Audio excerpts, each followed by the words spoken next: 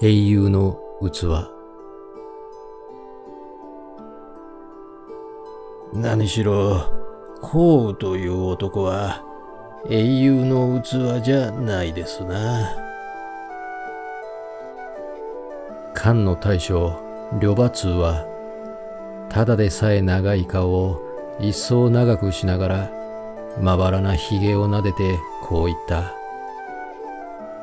彼の顔の周りには、十人余りの顔が皆真ん中に置いた灯火の光を受けて赤く爆栄の夜の中に浮き上がっている。その顔がまたどれもいつになく微笑を浮かべているのはケイソの覇王の首を上げた今日の勝ち戦の喜びがまだ消えずにいるからであろう。そうかね。鼻の高い眼光の鋭い顔が一つ。これはやや皮肉な微笑を浸透に漂わせながらじっと呂馬通の眉の間を見ながらこう言った。呂馬通はなぜかいささか狼狽したらしい。それは強いことは強いです。何しろ登山の魚病にある石の叶えさえ曲げるというのですからな。現に今日の戦もです。私は、一時命はないものだと思いました。リサが殺される。王侯が殺される。その勢いと言ったらありません。それは実際強いことは強いですな。ほう。相手の顔は依然として微笑しながら応用にうなずいた。爆栄の外はしんとしている。遠くで二三度核の音がしたほかは馬のいななく声さえ聞こえない。その中でどことなく枯れた木の葉の匂いがする。しかしです。呂馬通は一同の顔を見回して、さもしかしらしく瞬きを一つした。しかし、英雄の器じゃありません。その証拠は、やはり今日の戦ですな。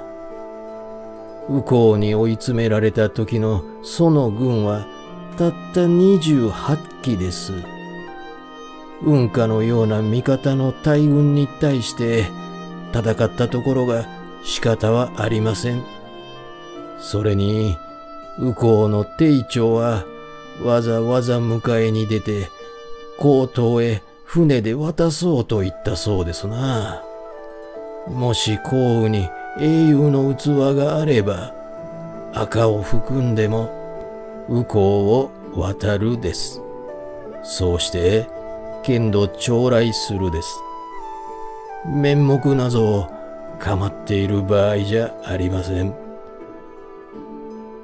すると、英雄の器というのは、感情に明るいということかね。この言葉につれて、一同の口からは静かな笑い声が上がった。が、呂馬通は存外ひるまない。彼は髭から手を離すと、やや反り身になって、鼻の高い、眼光の鋭い顔を時々ちらりと眺めながら、勢いよく手真似をして喋り出した。いや、そういうつもりじゃないです。こうはですな、こうは今日戦の始まる前に28人の部下の前で幸運をなくす者は天だ。人力の不足ではない。その証拠にはこれだけの軍勢で必ず漢の軍を三度破ってみせる。と言ったそうです。そして実際三度どころかくたびも戦って勝っているです。私に言わせると、それが卑怯だと思うのですな。自分の失敗を天にかずける。天こそいい迷惑です。それも、右向を渡って、高等の賢治を救合して、再び中元の鹿を争った後でなら仕方がないですよ。が、そうじゃない。立派に生きられるところを死んでいるです。私が幸運を英雄の器でないとするのは、感情に暗かったからばかりではないです。一切を天命でごまかそうとする。それがいかんですな。英雄というものは、そんなものじゃないと思うです。小上昇のような学者は、どう言われるか知らんですが、両馬通は得意そうに左右を顧みながらしばらく口を閉ざした。彼の論議が最もだと思われたのであろう。一同は互いに軽いうなずきを交わしながら満足そうに黙っているするとその中で鼻の高い顔だけが思いがけなく一種の感動を目の中に表した。黒い瞳が熱を持ったように輝いてきたのである。そうかね。幸雨はそんなことを言ったかね？言ったそうです。両馬通は長い顔を上下に大きく動かした。弱いじゃないですか。いや、少なくとも男らしくないじゃないですか。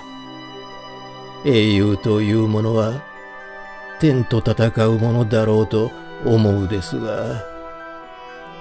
そうさ。すると、幸雨は、劉邦は鋭い眼光を上げてじっと秋を瞬いている灯火の光を見た。そうして、半ば独り言のように、おもむろにこう答えた。だから、英雄の器だったのさ。